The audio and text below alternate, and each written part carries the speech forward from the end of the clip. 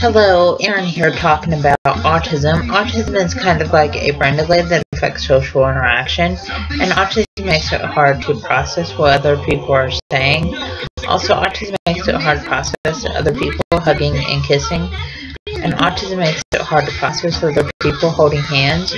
Also, autism makes it where people are anxious around loud crowds and loud sounds, and autism makes it where people are anxious wearing backpacks. Also, autism makes where people are anxious at school all day, and autism makes where people are anxious on the school bus. Also, autism makes where people have a hard time tying shoes and buttoning shirt collars. Also, the signs of autism are lack of social skills, lack of eye contact, lack of speech, and lack of communication. Please subscribe.